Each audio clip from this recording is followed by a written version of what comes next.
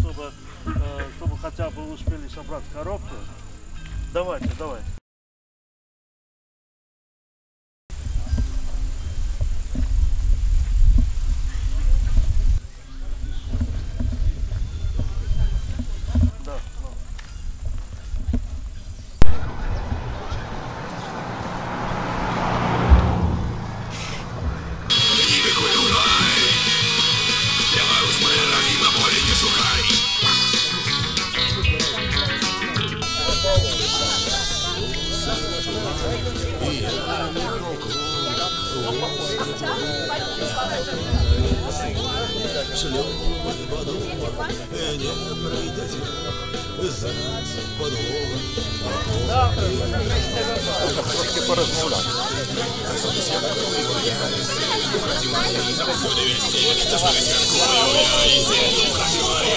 Ну, я тут... Ты переоденешь э, ваши ноги?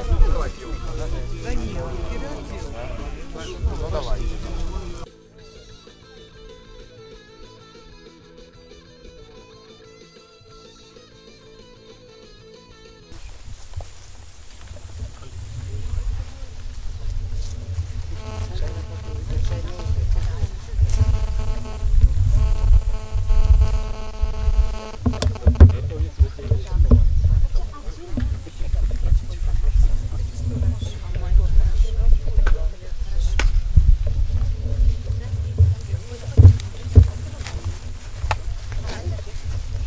28 жніўня мы прыязджаем сюды лёжненцы дзецябляне аршанцы магілёўцы ну і людзі з усіх куткоў нашай беларусі каб ушанаваць каля гэтага помніка на гэтым святым месцы дзе са слова лены иваны стаяла Михаил Миколаевская царква ушанаваць памяць ігната будзіловича кіраўніка аршанска горыцка здаецца паўстанцкага атрада які ў 1863 годзе маладым юнаком 22гадовым перайшоў з царскага войска у, рад... у шэрагі паўстанцаў касінераў кастуся каліноўскага арганізаваў у у горадскім раёне свой атрад і ішоў пад віцебск на сустрэчу з асноўнымі сіламі атрада тут ён быў сустрэты царскімі войскамі недалёка ўзяты ў палон а 28 жніўня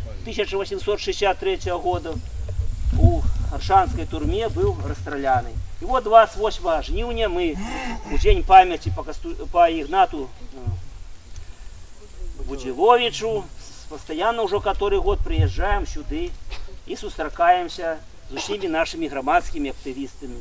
У мінулым годзе мы рамантуючы гэты помнік, які ўжо бачыце крыху пачаў ламацца, ўсё не вечнае на зямлі і нават камні таксама. Я абяцаў, што са сваімі грамадскімі актывістамі пастараемся пабудаваць новы. Сталася так, што месяц таму назад я думаў, што не пабудуем і гавару свайму сябру Ігару Казмярчаку Ігаш, в гэтым годзе напэўна не поедем. Сорамна будзе, потому что обяцалі, а не выканалі сваё абяцанне. А Ігар кажа, не хвалюйцеся, напэўна выканаем абяцанне.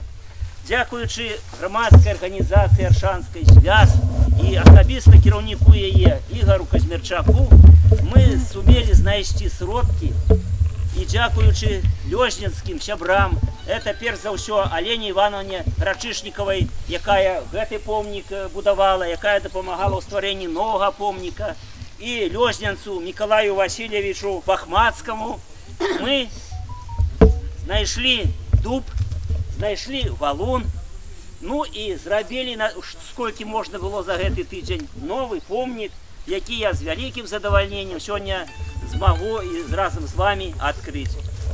Шановныя сябры, мы поступім так. Зараз наш гісторык і адзін з арганізатараў новага помніка Ігар Казмячак коротко распавядзе гісторыю э, 1000 далёка 1863 года. Вот тому што не, не, многія тут э, не былі, не ведаюць. Затым будзем усе далей выступаць, а затым адкрыем э, урачыста гэты помнік. Ігар, калі ласка. Уже колькі год мы регулярно штогод ездим сюды і ўжо І, ко- і кожны год э, я заново распавядаю гэтую гісторыю, як ішло паўстанне э, на Лёзнейшчыне, як э, Будзіловіч хадзіў з аршанскім атрадам па гэтых мясцінах. Э, Сёння еду, еду ў маршрутцы і думаю, ну вот зноў адно і тое паўтарыць трэба будзе. А з іншага боку мяне радуе, што кожны раз на гэтым месцы з'яўляюцца новыя людзі і сённяшні год не выключэнне і таму і паўтарыць не грэх, паўтарыць яшчэ раз можна каротенька пра тое, як адбывалася гэтае паўстанне ў нашых краях. Асабліва радуе, што ёсць э, маладыя людзі, школьнікі сёння тут, Э, бо паўстанне Каліноўскага яно было такое романтычна-маладзёжнае, наіўнае ў нечым, але смелае. Все ж таки э, паўстанне рыхтавалася, э, планавалася, што пачнецца пазней, чым у студзені 63 -го года, але э, э, студэнты варшаўскія не вытрымалі, э, многіх з іх, многія з іх патраплялі пад рэкруцкі набор і паўстанне з ініцыятывы студэнтаў пачалося трохі раней. У польскай гістарыяграфіі мы ведаем гэты пачатак паўстання як студзеньскае паўстанне. Пазней ужо яно дакацілася да нас. І ў 63 годзе э, у нашых краях э, паўстанне рыхтавалася на ўсю магілёўскую губернію тагдашнюю у віцебскай губерніі ўжо яно ішло э, а ў магілёўскай губерніі цэнтрам паўстання была вёс- вёска літвіны сёння гэта не існуючая вёска у, Лё- у дубровінскім раёне некалькі год таму мы ездзілі ў краязнаўчую экспедыцыю сваёй арганізацыі знайшлі гэтую вёску канешне ад яе засталіся толькі падмуркі то не ўсіх дамоў але і там думаю што будзе сэнс калісьці таксама адзначыць гэтую вёску якім-небудзь кі- камянём бо менавіта там заседалі і кіраўнік паўстання па магілёўскай вобласці звяждоўскі памянушцы тапор менавіта туды прыязджаў збегшы з царскага войска ігнат будзілович зноў жа пра моладзевасць гэтага паўстання ігнату будзіловичу на момант паўстання быў 21 год на момант калі ён дезерціраваў з расійскага войска калі даведаўся што тут рыхтуецца паўстанне па падробных дакументах на выпісаных на імя афіцера котко расійскага афіцера ён дабраўся да оршы тут яго сустрэлі сувязныя і яны ўжо звялі яго са звяждоўскім і астатнім штабам паўстанцаў Э, у будзіловича была некепская падрыхтоўка ён быў артылерыстам па адукацыі і таму афіцэрам ужо і таму яму даручылі ствараць аршанскі атрад доўга ён рыхтаваўся гэты аршанскі атрад быў набор Э, прыблізна месяц э, будзілович штурм э, муштраваў сваіх будучых паўстанцаў будучых жаўнераў складаліся яны таксама пераважна з маладых людзей пераважна э, з сем'яў э, мясцовай шляхты э, першыя першая частка атрадаў і 22 красавіка 1863 года яны выйшлі са сваёй схованкі і пайшлі ў свой кароткі паход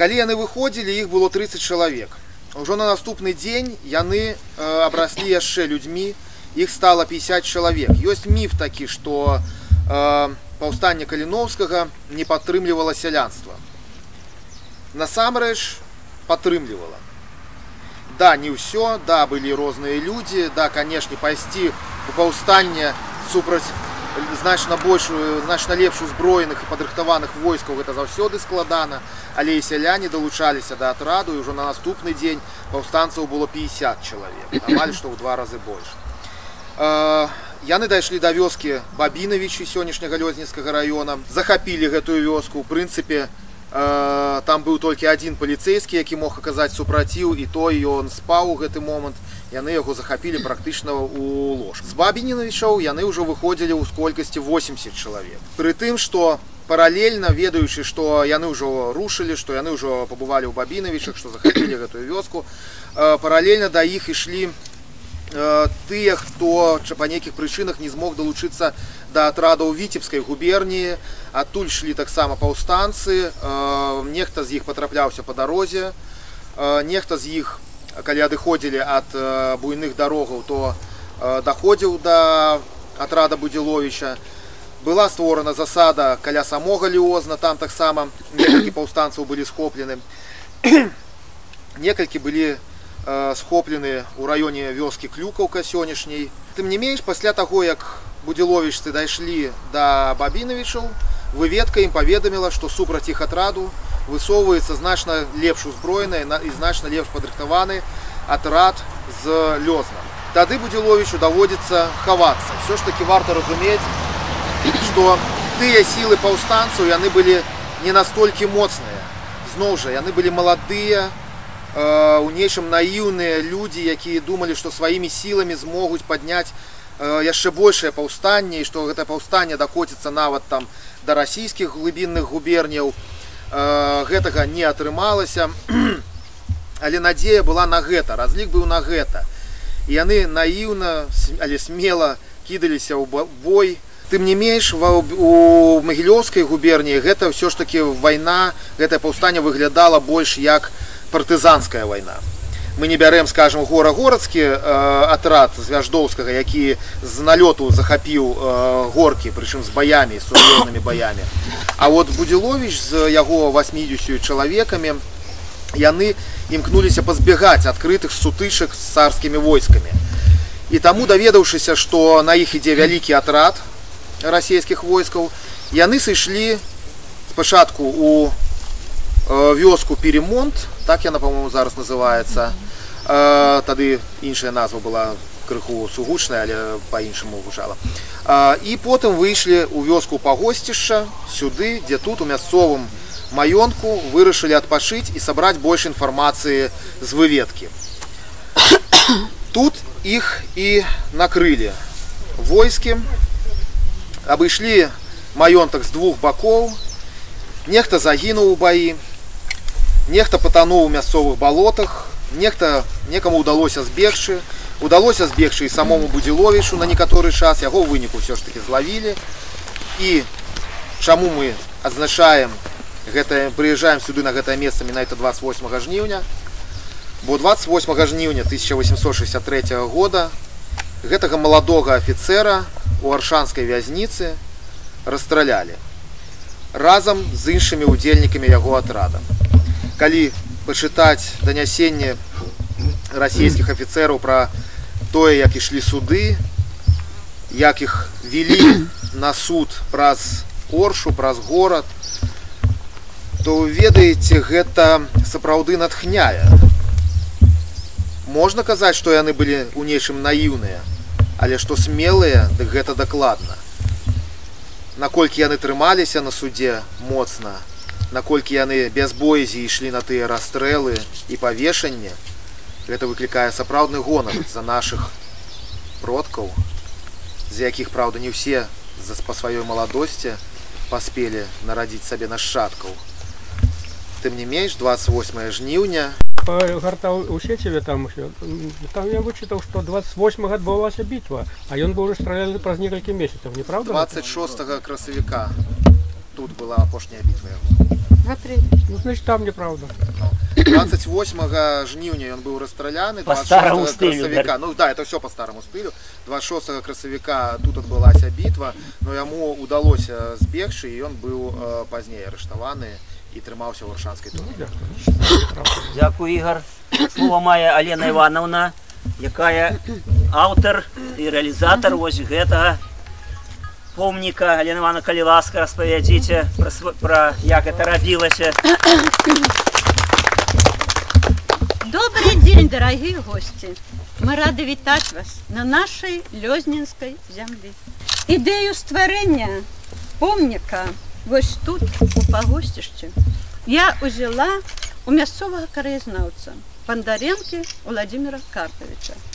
Неяк яшчэ ў канцы мінулага стагоддзя ён гаварыў: добра было б на месцы гібелі паўстання это самое Игната, отрада Игната Будиловича поставить крыш, каплицу с каменями. И я взяла гэта на ўзбраенне, так сказать, и стала думать, як гэта зрабіць. Праекты сталі раз, распрацоўваць і, і як гэта зрабіць. Рабіць-то трэба на волонтерских умовах. Хто мне дапаможа? Ніхто. І вось у 1998 годзе мы з вучнямі паехалі збіраць камяні. Хадзілі по полю, назбіралі цэлый прыцеп трактора. Привезли сюды, вот так высыпали тут. Да, улада спрашивала дозвол у, р- у райкома. А, Значит, райком дал дозвол. Сказали, можно ставить помник. Но привели и показали, вот на гэтым месте. Место это вельми доброе, намоленное. Тут стояла самая первая в нашем районе православная церква святого Миколы. А повстання отряд загинув десь вот там, каля речки. Ми хотіли там, і вони сказали, ні, ось тут помник ставте. Ну і добре, місце добре. Ну і поїхали ми домов, думати, як далі, що будемо робити. Проєкт який складати, чи що. Хутко приходять звістки. Каменів наших нема. Забрав нехто на фундамент. Все. Что робить, не знаю. Ну ладно, у 99-м году, у наступном году я выпустила своих гурткоўцаў. Я лёзненчына гурток у меня. Яны пайшлі ў свет. Я набрала маленькіх пяцікласнікаў. Вось з імі гэту справу не зробіш. Гэта вельмі складаная справа такая. Ну вось году ў год мы чакалі неяк, я займалася другімі справамі, а потым вярнулася да гэтага толькі ў 2005 годзе. Неяк э, распрацавалі мы праект. Вот стаіць там вот у нас Максим Бурак. Ён аўтар. Максим, пакажыся. Ён аўтар вось гэтага праекта помніка.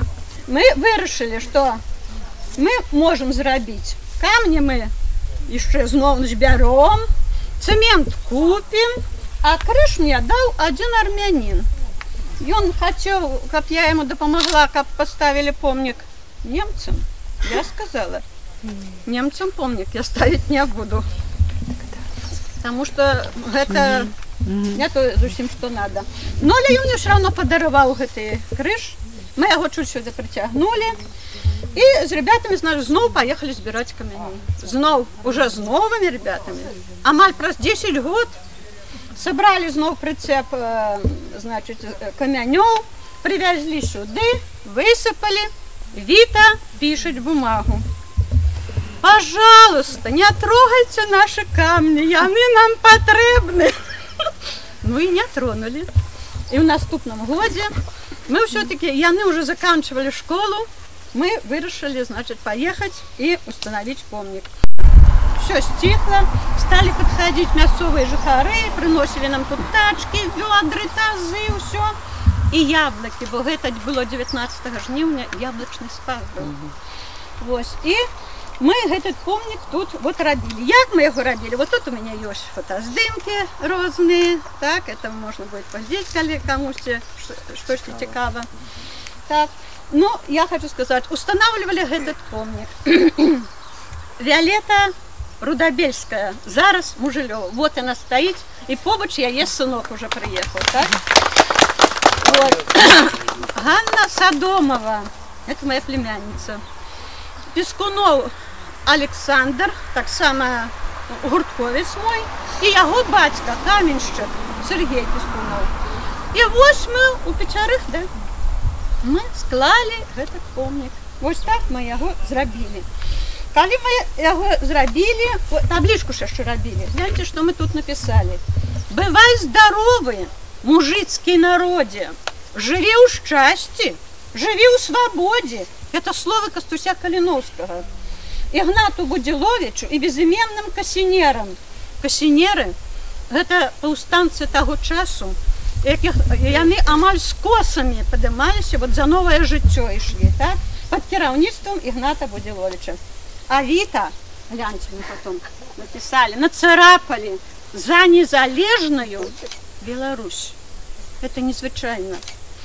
І незвычайна мы сёння привезли сюды шмат дзяцей, Таму што хай ведаюць, за што аддалі жыцці свае 22гадовы юнак Ігнат Будзілович і 26гадовы юнак Каліноўскі за тое, каб краіна наша была незалежная, незалежная ад каго, не ад літоўцаў, ні ад палякаў, ні ад расіян. Мы самастойная, незалежная держава. Вось мы так лічым на этой справе. Затым у 2013, 2013 года э, сюды стали приезжать аршанцы. Вот на чале з Юрыем Александровичем. Кожны го- э, год яны 28 жніўня прыязджалі сюды.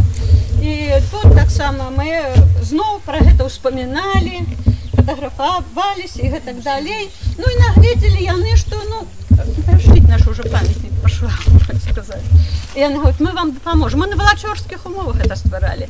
Ну а яны крышку нашлі грошы. І вот. Денежками, пупочками, каб люди, ну пройдуть э, 20 годов, ну, каб не забыли еще пройдуть. Дети будут Шепелев, Бухмацкий, ну, может быть, и Нагорный. Ну, але все сказали, сказали, не, не треба, мы еще живые. Ну, не треба, так не треба. Будем сподіватися, що не забудуть нас. Шановні, шановні сябри, ну, зараз починається наш самый урочистый момент. Мы открываем новый помнік. Я думаю, буде справедливо, коли його, так сказать, урочисто відкриють, покажуть нам Алена Івановна і молодейший наш молодий сябра, сябра товариства білоруської мови, яка отримала призи, це Ігор Казмірчак. Геннадь, включай. Чекайте хвилиночку, то есть, я вам включить музику. Лена, поможи ты. 开心了，现在都更开心了。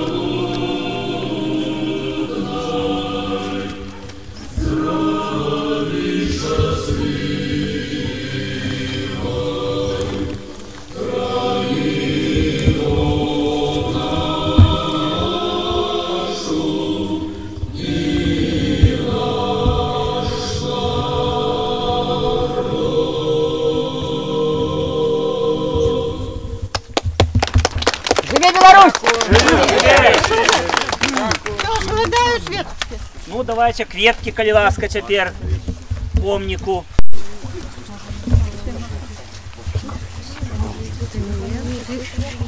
Алина.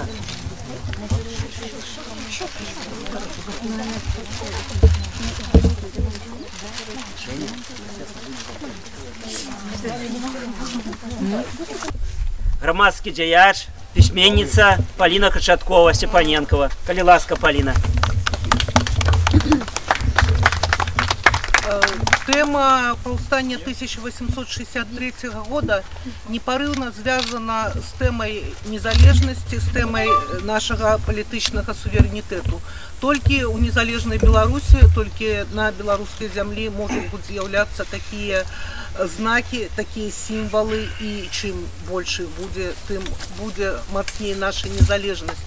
Вы ведаеце, што э, апошнія часы гэтая тэма паўстання на набыла новую актуальнасць тры гады назад у вільні у нашай гістарычнай сталіцы ускрылася гора гедеміна і з'явіліся парышткі паўстанцаў 1863 года у тым ліку кіраўніка паўстання кастуся каліноўскага і сёлета на дзяды яны будуць перазахаваныя у вільні на гістарычных могілках росы у капліцы і дзякуючы намаганням грамадскасці беларускай лякувае перад смерцю жыцця многа зычыць а пагуходня як сонца палае ды жыцця як агню не пазычыць ты адкуль прыляцела зязюля можа гоніць цябе па ўсім свеце быццам ястраб шалёная куля быццам коршак драпежны ветер стихнешь, стихнешь, дурница птушка, ці не чуеш, гудуць вяругі, ветер шыбеніка гушкае і як коршак і рве харугвы. Помаўчым. Не збылася воля, толькі лепшых сяброў забрала і пакінула сярод поля косы вілаў зламаныя джалы. Помаўчым, але боль не сцішым. Няхай помняць забойцаў раны. Слоў і клятваў не трэба лішніх. Шлях да волі навек абраны.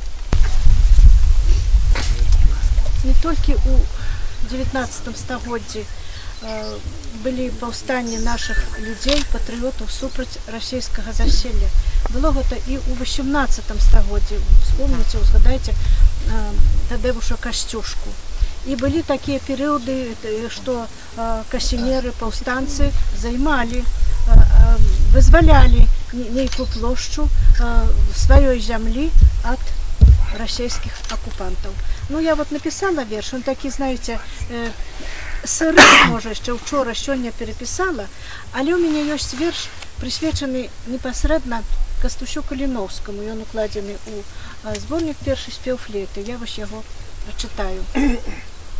Прашло сто гадоў, нават болей, як сэрца не б'ецца тваё, а ў нас незайздросная доля, бо набраць зноў робіць сваё. Свяціло ўжо яснае сонца над нашай зямелькай наўсцяж. Праменьчык зірнуў у ваконца і тут жа імгненна пагас. Цяпер над радзіму хмарна, імжа, бездарожжа і бруд. Няўжо мы змагаемся марна. Няўжо гэта Божы прысуд. Кастусь, братка наш, рыцар мужны, нам так не хапае цябе, крумкач над айчынаю кружаць і люд шматпакутнай журбе. Але ў нашых сэрцах збалелых агеньчык надзеі не згас. У колерах чырванню белых зайграе вясёлка для нас.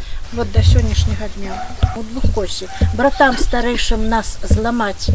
Пілося ім тут смачна елась, ды вось пагоні не стрымаць летяць як стрэлы яе коні героі вершнікі на іх і ачышчаюць палі гоні ад жорсткіх ворагаў сваіх ну, жывя Беларусь